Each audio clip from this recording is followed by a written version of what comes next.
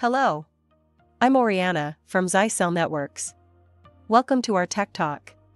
Hope you enjoyed our last episode about why you should get a Zyxel SCR50AXE.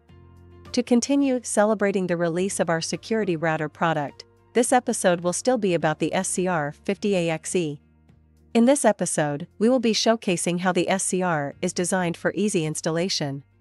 Specifically, how easy and intuitive it is to get the hardware up and running under various circumstances. Now getting your SCR online is very simple. We even have videos instructing you how to use the Nebula mobile app to get these devices up and running in NCC. The example cited by that video is pretty straightforward. It's simply a process of tapping a series of next buttons on your Nebula mobile app. After your device registration is complete, your SCR Cloud LED light should show a steady green light. However, this is true if your SCR is connected under a network that provides dynamic IP assignment. What happens if the outer network requires a static IP or PPPoE account setup on your SCR? Without a working uplink interface, the cloud LED of your SCR will show no light to indicate a lack of internet connection. Therefore, we need to find a way to access the device for setting up the uplink. Normally, it wouldn't be possible to set your uplink interface using the Nebula mobile app. This is because the app is communicating directly to our cloud server.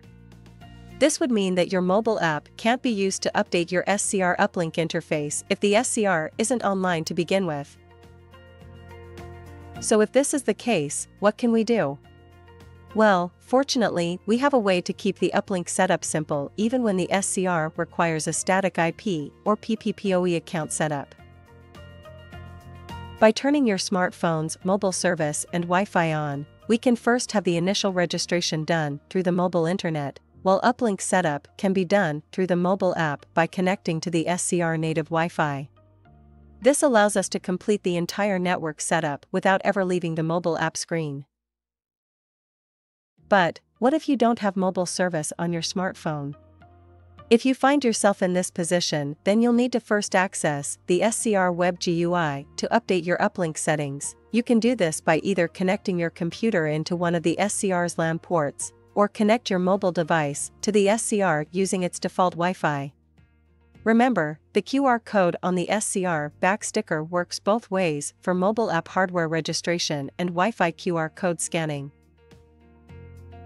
Open any internet browser on your computer or mobile device and input the IP address and admin credentials found at the back sticker of your SCR.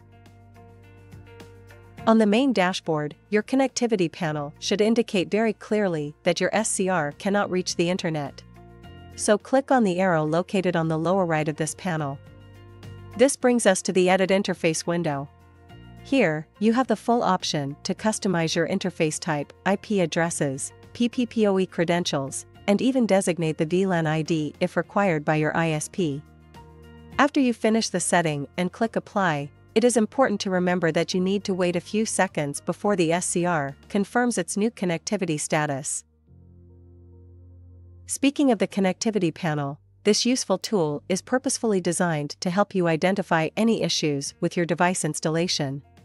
As we've seen earlier, a double X icon on the connectivity panel generally means that your SCR cannot access the internet with its current uplink settings. Assuming you configured your uplink correctly, one of three possibilities could happen. We can see a warning icon between NCC and the internet if the SCR has not yet been registered to NCC. When this happens, you can simply switch back to the Nebula mobile app and register your SCR normally via its default Wi-Fi. After a few seconds, your connectivity status should show a double check icon indicating that the hardware is registered and ready for cloud management. Alternatively, if you already registered your SCR into Nebula Control Center before setting the uplink, your connectivity panel may change directly to the Hardware Online status. In rare cases, you might see only one X icon between NCC and the Internet. This usually means that your ISP has implemented some advanced security policies or firewall settings that could be actively disabling communications between your SCR and NCC. Now having your SCR able to reach the internet but not NCC is very uncommon. But since all locations have unique security or firewall policies, it's a good idea to keep this in mind.